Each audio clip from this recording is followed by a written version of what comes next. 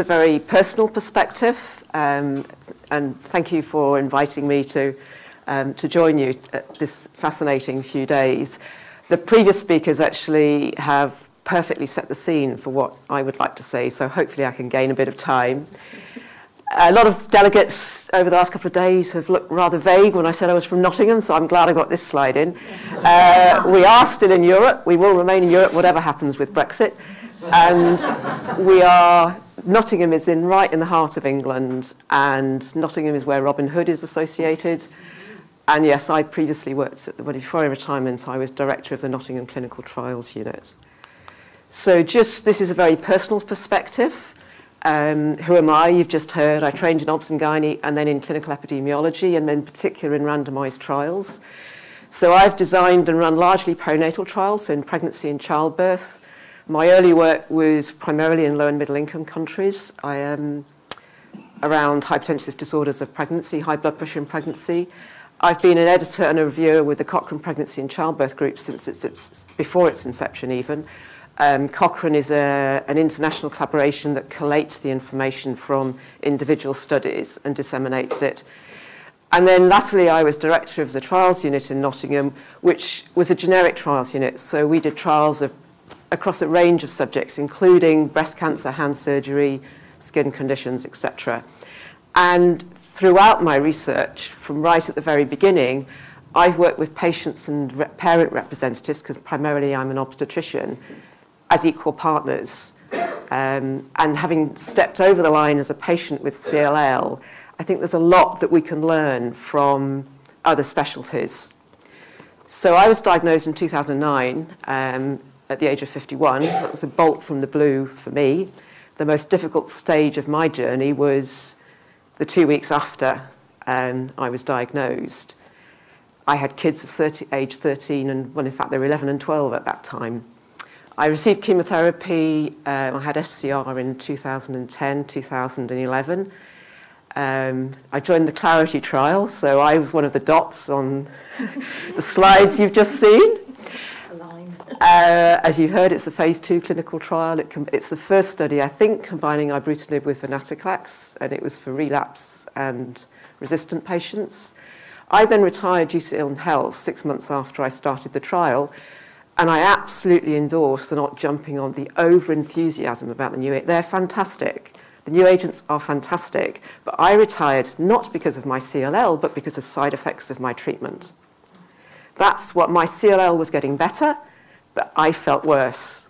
I went from being a fit, active professional. I ran a unit with 60 staff. We managed a budget of millions of pounds. I was, you know, I had a hugely packed, highly stressful life that I really enjoyed. And I went from that to within a few months, barely being able to get out of bed. And when I did, I was in extreme pain with my joints. So it knocked me off my feet, literally, and I had loss of concentration. Within hours of starting venetoclax, I was talking nonsense in meetings. My colleague was kicking me under the table. You said that, Lelia. Um, and since I retired, at my retirement due, I chatted to, I happened to know, somebody who was there was Julia Brown, who directs the trials unit in Leeds.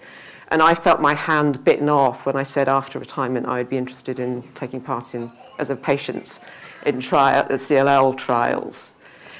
So going back to my own story, uh, at the start of my research career, I was lucky enough to come across somebody called Iain Chalmers, who is the most remarkable person. He published this in 1991. He's an obstetrician. He set up the Cochrane collaboration. He's still around, still active, even in his 70s. He published this seminal paper, The Perinatal Research Agenda, Whose Priorities? His argument was it was women's priorities that should determine that agenda. It's well worth a read. Even to this day, I often go back to it for reference. One of the examples he used, which is really illustrates it very powerfully, is induction of labour. So when I started training in obstetrics and gynecology, there were, I think, hundreds of trials about what drugs we should use to induce labour. There were virtually none on when you should induce labour. And those studies only started happening when women started saying, why the hell are you giving me these drugs in the first place? Why don't you just let me go into labour, nat labour naturally? So there's now a large number of trials have been done looking at why you when you should induce labour. We should have done those first before we did the how. And I think there's lots of parallels with many other um, conditions. We've heard a lot already. I mean, Natasha has just set the scene perfectly why you should involve the public in research. So it reduces the mismatch between the research that's done and what is useful to the people who use the research, which is the clinicians who manage our help us, and to patients, carers, and families, the public. Um, it also, we've heard powerful arguments how it reduces waste in research funding and resources. There's no need to wait till you're battling with your ethics and your approval bodies to work out you've got your study design slightly wrong. If you involve the patients early on, they'll tell you these outcomes are not relevant to us. That's the wrong question. Your consent form's too long. Um, and in the UK particularly, it's increasingly expected by research funders. You will not get um, government funding in this country if you don't have patient involvement. It's now the norm. Um, and it's because it's been shown to improve the relevance of the research and the quality of the research. So again, a bit of my personal story. Um, in the last few years of my active life, I worked on, I led a uh, program of work related to preterm birth, which is being born too soon. Horribly stressful thing for these families and for their babies. We had five work streams, but I wanted to, I'm only going to talk about what we called the priority setting partnership, which was the first phase. And just to illustrate, um, this is again building on what Natasha's just presented. So patient and public involvement in this program of work that was funded by the National Institute of Health Research, which is the big government body in the UK. First of all, it changed the language, it's the language that we used. We never used the patient term in pregnancy and childbirth. Having a baby is not, does not make you a patient, no matter how sick you get. Having a baby is a physiological event that we all expect. We all know people who've had babies. Even the men know about you know, their partners, whatever. Everyone knows somebody who's had a baby. You're not a, a patient purely because you're pregnant. So the agreement in our group was that we'd use the term service users. The other commonly used what term in the UK is consumers, but that's got a more that's begun to have a different resonance. So we use the term service users to cover that umbrella of patient and public involvement. The, the topic that we, uh, we were focusing on is when you cut, cut the baby's cord at birth, and this is women having babies months before they're due, highly stressful time. That topic was identified in discussion with parent representatives. So we decided on what we were, research we were going to do over several lunches and cups of coffee with various um, parent representatives. Um, and then as soon as we rolled it, before even, before even applying to the funding body, we went to, through one of the charities, we consulted with parents about who've had experience of this condition and they were very wary of any research at this difficult time. It was so stressful for them, they couldn't imagine getting involved in research. So therefore, before we even went for funding, we made sure that we knew we had to have a strong parent perspective to ensure that it was relevant and also to ensure that women, pe people would the women would participate in our research because if we got it wrong, the clinicians wouldn't do it and the parents wouldn't take part. And we did this through, we, our representative representation was largely through the National Childbirth Trust, which is NCT, and Bliss, which is a charity that specialises in special care babe, the needs of special care babies and their families. Um, and our input included being, co there were two co um, rep parent representative co-applicants in our grant application. These they sat on every they were on our program steering group. They attended four monthly meetings throughout the program as equals and at the table and were fantastic contributors. They contributed to the detailed project management of our, we had 10 projects within the programme. They co-authored the publications and also an additional benefit is they've actively disseminated our research through their organisations. So they have their own meetings, ones like this, where the results have been presented back to their members. Um, so going back to the priority setting partnership, we use the James Lind Alliance, also set up by Ian Chalmers, um, aims to bring together patients, carers and clinicians. Researchers have no seat at the table. The argument has been that in the past, researchers have dominated the agenda. This is about finding this is about unanswered questions are important to patients, their carers, and, their, and the clinicians who look after them. And the aim is to ensure that people who fund research know that they do make those decisions about funding aware of these priorities. It's not saying you have to fund them, but have that, that information at the table when you make those decisions. So we did a preterm birth priority setting process. This is us at work. That's me at the far end. Um, as we go around the table, there are parent representatives, people who, adults who were born preterm, the parent of a, woman, of a child who was born preterm, as well as clinicians. Um,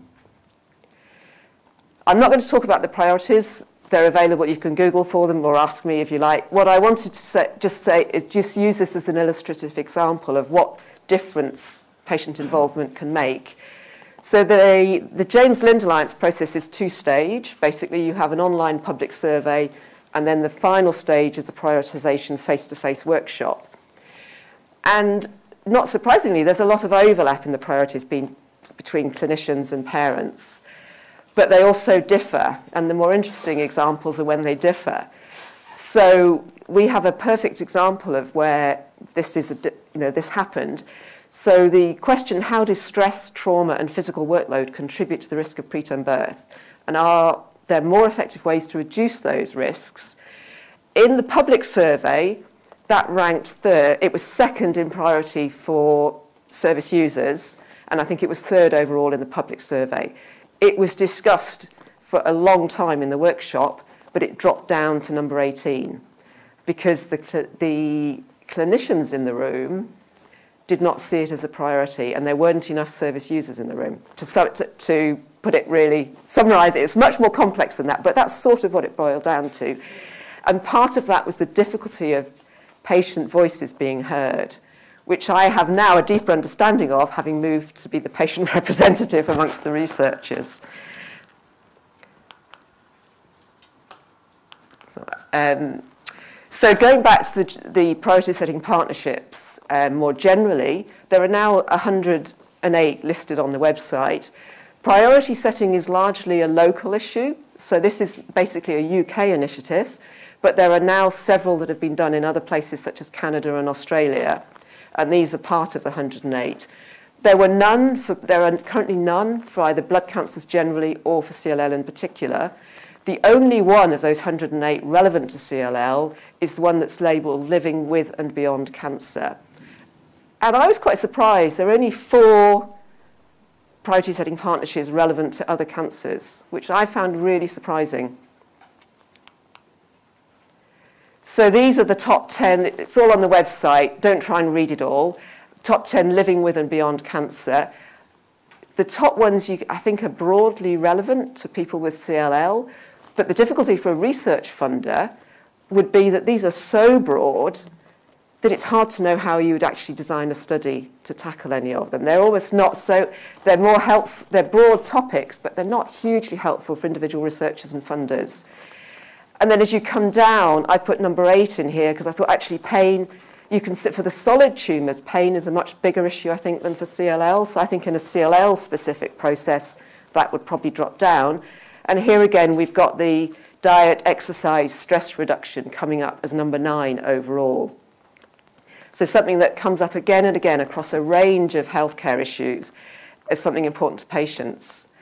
And here's just a little example. Since I've retired, I've got more time. I was struggling with fatigue. I go to yoga classes. Um, a growing number of people, uh, the Maggie's centres around the country in the UK provide services for people with cancer. They all provide yoga classes a lot of people with cancer use yoga as an additional way to improve their well-being.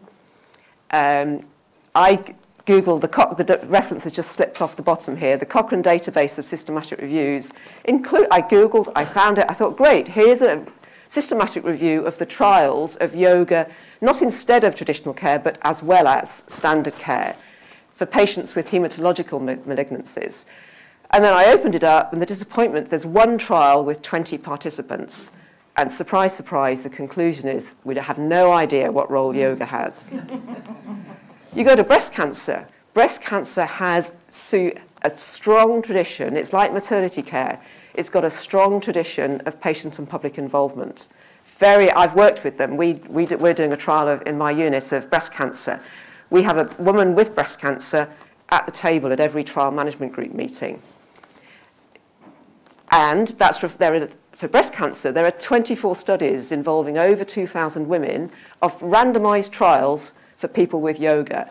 And the conclusions is that yoga was more effective than no therapy in improving the quality of life and reducing fatigue and sleep disturbances for people with breast cancer. And even better than that, yoga, in comparison with other things like counseling, yoga is still better.